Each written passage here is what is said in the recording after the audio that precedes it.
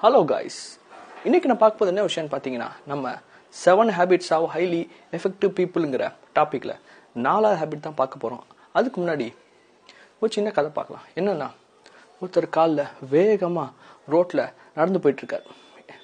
அப்போ என்ன ஆகுதுன்னா ஒருத்தர் சைக்கிளில் வந்து அந்த பெரியர் மேலே மோதிடுறாரு அந்த பெரியருக்கு ஒன்றும் ஆகலை. இருந்தாலும் அந்த பெரியர் என்ன சொன்னான்னா டேய் லூசு பயல.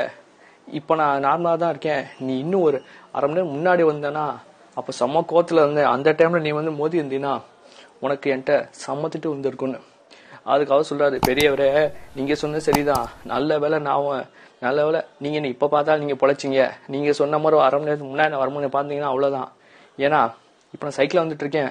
அரை மணி நேரம் முன்னாடி லாயில வந்துட்டு இருந்தேன். அப்ப நான் வந்து உங்க மேல இடிச்சிருந்தேன்னா நீங்க என்ன திட்ட கூட இருந்திருக்க மாட்டீங்க. அப்பதான் அந்த பெரியவருக்கு தோணுச்சு தலைக்கு வந்து தலைப்பாடு போச்சுன்னு. சரி ஓகே நம்ம அந்த டாபிக் குள்ள போலாம்.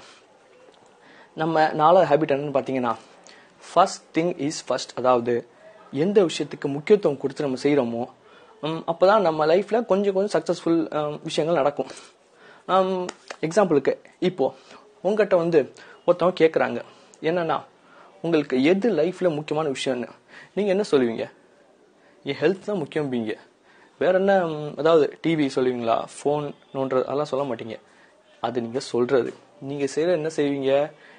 டிவி செல்ஃப் வந்து முக்கியமாக எடுத்துக்கீங்க தவிர உங்கள் ஹெல்த்தை முக்கியமாக எடுத்துக்க மாட்டீங்க. இதுதான் விஷயமே.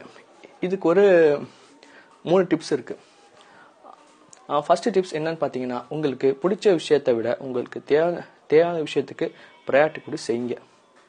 அடுத்து என்னதுன்னா நம்ம வீட்டிலலாம் சொல்கிறது தான் நம்ம நம்ம அம்மா நம்மளுக்கு வேலை சொல்கிறாங்கன்னு வைங்க. நம்ம சொல்லுவோம் இருமா ஒரு நிமிஷம் கழிச்சு செய்கிறேன் அப்புறம் செய்கிறேன்னு வீட்டில் சொல்லுவாங்க டேய் அப்புறம்னு ஒரு வேலை செய்யாத அந்த விஷயம் உனக்கு நடக்காதுன்னு. அந்த மாதிரி தான் என்ன நீங்கள் நினைக்கிறீங்களோ அதை டக்குன்னு செஞ்சிருங்க.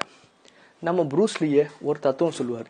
எதை பற்றி நீங்கள் ரொம்ப நினைக்கிறீங்களோ அதை கடைசியாக நீங்கள் செய்ய மாட்டீங்கன்னு அதாவது ஒரு விஷயம் நீங்கள் ஆரம்பிக்கணும்னா அதுக்கேத்தாப்புல ஒவ்வொரு நாளும் கொஞ்சம் கொஞ்சம் ஸ்டெப்பாக எடுங்க. ஏன்னா ஏன்னா பெரிய வெள்ளமே சின்ன துளியில தான் ஆரம்பிக்குது. அந்த மாதிரி தான் செகண்ட் டிப் என்னன்னா உங்களோட டிஸ்ட்ராக்ஷன் முதல்ல எதில் வருதுன்னு பாருங்க அதாவது நீங்கள் ஒரு விஷயத்துக்கு ஃபோக்கஸ் பண்ணுறது கொஞ்சம் கஷ்டம். அது அவ்வளோ சீக்கிரம் யாருக்கும் வராது.